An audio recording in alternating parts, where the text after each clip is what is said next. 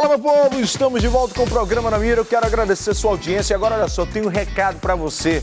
Nós vamos falar agora da maior rede mundial de lojas de peças e equipamentos de refrigeração e ar-condicionado. Uma empresa do grupo Midea Carrier, a Totaline, que está presente em vários países com mais de 600 lojas e representantes, meu povo. Na Totaline você conta com uma linha inteira de materiais para instalação, com peças originais das marcas Midea Carrier, Springer, Toshiba e Confie. Atendimento especializado Nada disso mais que atendimento, consultoria especializada e uma equipe pronta e apta para lhe oferecer a melhor consultoria em climatização.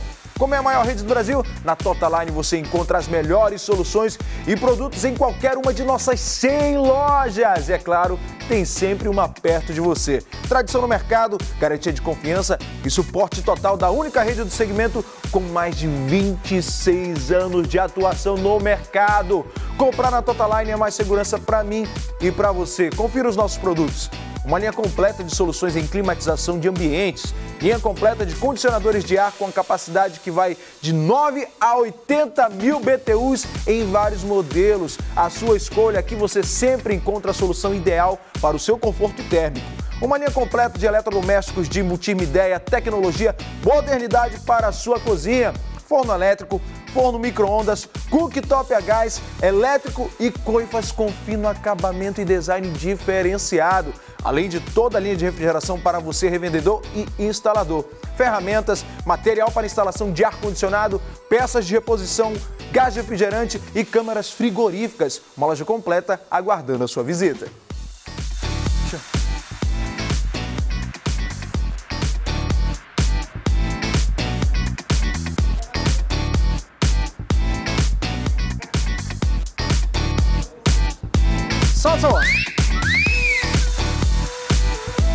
É isso aí, meu povo. Curtiu a novidade? Olha só, vocês gostam, né? Vocês gostam disso aí, rapaz. Para com isso. Olha só, policiais militares conseguiram prender o autor do latrocínio que vitimou a estudante de 17 anos, Sara Nascimento. Sabe onde? Lá em Ita. Traz essa informação para mim aqui na tela, dona Mira. Policiais militares do 2 BPM, que tem no comando o Tenente Coronel Beckman, Prenderam Adailson Ribeiro Alzier, de 21 anos. O mesmo estava sendo procurado por ter participação no latrocínio cometido no último sábado, que vitimou a estudante Sara Nascimento, que foi covardemente assassinada por Adailson a golpes de faca. Adailson foi conduzido até a delegacia, onde confessou o crime. É uma jovem de apenas 16 anos.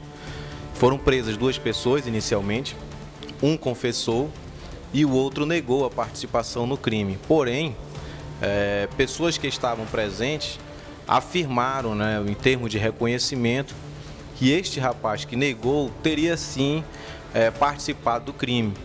Como nós não ficamos satisfeitos, nós percebemos que existia alguma fragilidade, nós continuamos investigando.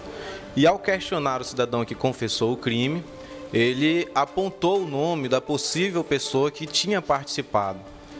Fomos à procura dessa pessoa apontada, no caso o Adam, conhecido como Adam, no bairro de Jardim Adriana, e ele não foi encontrado no endereço nem da mãe, nem do pai, e ninguém sabia informar o local em que ele estava.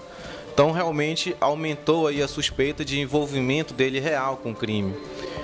Fizemos buscas na segunda, terça, e quando foi hoje, né, o comandante da Polícia Militar, o Coronel Beckman, fez a apresentação dele na delegacia.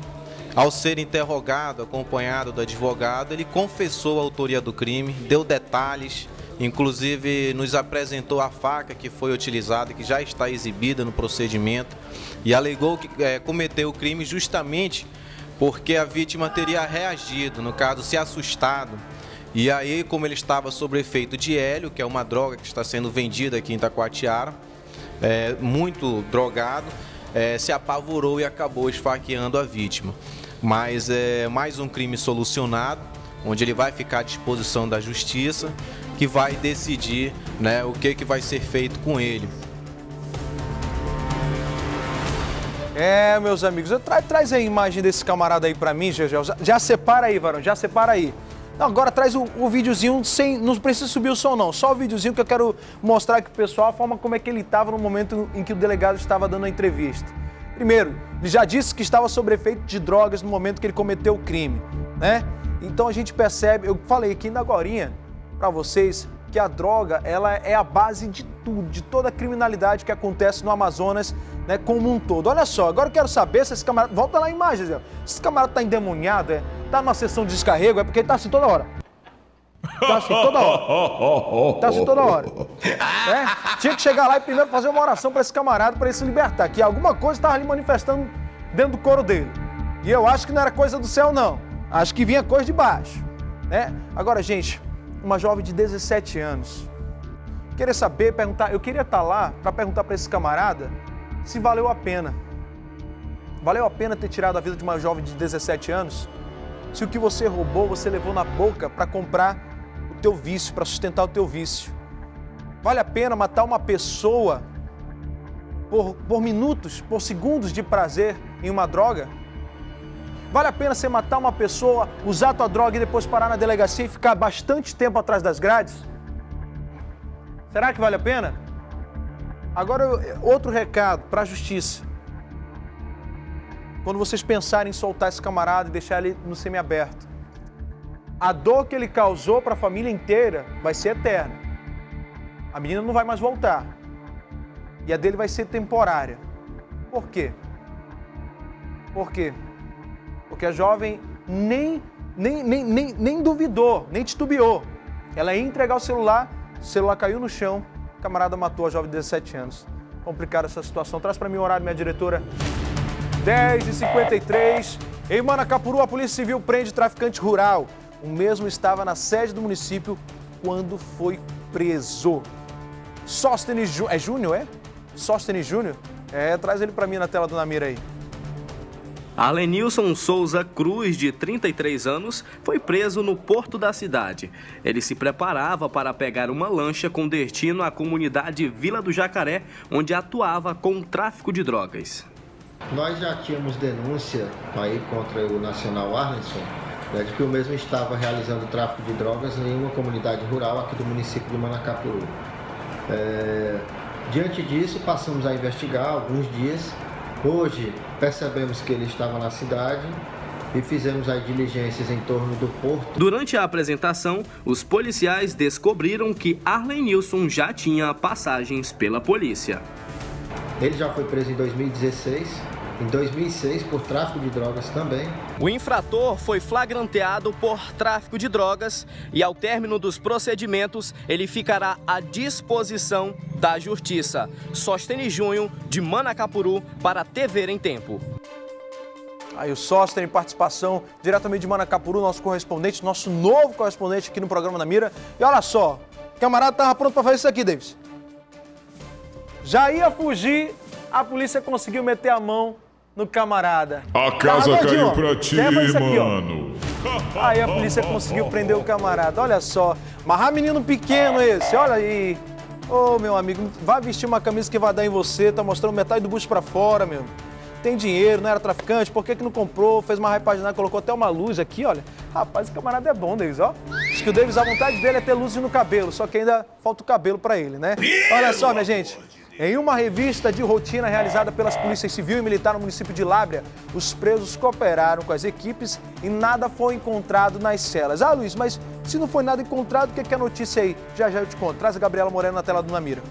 Pois é, as equipes policiais do município de Lábrea resolveram iniciar aí uma revista surpresa por volta das 11 horas da manhã na carceragem da delegacia do município. Os policiais revistaram cela por cela mas nenhum material ilícito foi encontrado. Segundo a polícia, os presos colaboraram com as equipes. Volto com você ao estúdio. Obrigado, Gabriela Moreno. Olha só, o que, que eu trago de novidade para você? Porque parece-me, parece-me que as coisas em Labra estão certinhas. Mas essa semana nós mostramos a revista no presídio de Tefé, onde foi encontrado arma, onde foi encontrado celular, onde foi encontrado vários objetos, né, que ali podem é, causar alguma coisa de ruim se houver uma, uma rebelião no presídio. A gente viu que os presídios de Manaus estão sofrendo uma crise carcerária gigantesca. Então é esse o exemplo que nós queremos dar para as outras delegacias, para as pessoas que estão ali né, fazendo esse tipo de papel, é, a parte administrativa do presídio. né? não só administrativa, mas também os fiscais que estão lá nos dias de visita, esse negócio todo. Para que isso possa acontecer, toda vez que houver uma revista. Uma... Meu Deus do céu, é uma revista, né? É isso. Dentro do presídio, para que não seja encontrado material ilícito. É isso que nós queremos ver nos presídios de Manaus, nos presídios do interior, para que não ocorra o que já vem acontecendo quase de dois, dois anos, que é a rebelião dentro dos presídios e muitas mortes. Né? Já, minha diretora, o que, é que nós temos? Ah, é? Ah, tá ok. Então fica o seguinte: o programa é ao vivo, não é gravado, não. Nesse momento, minha diretora está tentando abrir o Facebook para a gente dar um abraço para todo mundo que está nos assistindo. Lia Leão, como sempre, minha linda. Um grande beijo para você. Sobe, sobe, sobe, sobe. Marta Martins, bom dia, seu Luiz. Meu Deus, seu Luiz não, pelo amor de Deus, é Luiz. Advogado do diabo. Traz aqui, traz aqui, eu quero mostrar isso aqui, ó advogado do diabo. Esse defende vagabundo, deu um mau exemplo, ganha tanto dinheiro, suja a classe de advogados e ainda defendem eles. Os amigos, é, meu amigo, é isso que está acontecendo mesmo. Olha só, gente, audiência total. Queria mandar um abraço para todo mundo do programa Na Mira, que está aqui nos assistindo, na verdade, né? Abraço para o programa Na Mira, abraço dos telespectadores. Grande beijo, grande abraço. Eu vou pro comercial. Já já eu volto. Sai daí não.